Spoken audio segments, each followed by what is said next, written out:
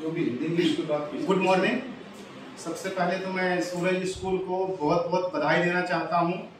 सूरज school management उनके staff उनके teachers और साथ में और जो भी कलीग्स हैं बच्चे हैं सभी को बहुत बहुत बधाई देता हूँ।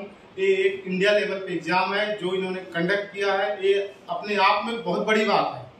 ये बहुत बड़ी बात है। इंडियन निकालना मतलब कि ये आईएएस लेवल के अधिकारी रैंक की वैकेंसीज होती हैं, उसमें कंपटीशन करना एक बहुत बड़ी बात है। इन बच्चों, चार बच्चों ने सूरज स्कूल से निकाला, रेवाड़ी से निकाला है। ये अपने आप में एक बहुत गर्व की बात है, एक सम्मान की बात है। स्कूल के लिए उन बच्चों वो बच्चा भी बहुत गौरवान्वित होगा जो इतना बड़ा कंपटीशन में क्वालिफाई किया है। दूसरा रहा एसएसबी का, उसका भी देखेंगे कैसे क्या करना है। और मैं सबसे पहले तो ये कहना चाहूँगा, उस पेरेंट्स का जिस बच्चे के पीछे उन्होंने इतना किया कि बच्चे ने इस लेवल पे अपने आप को प्रमोट किया और निर्णय लिया डिसीज़न लिया और कंपटीशन किया और क्वालिफाई किया।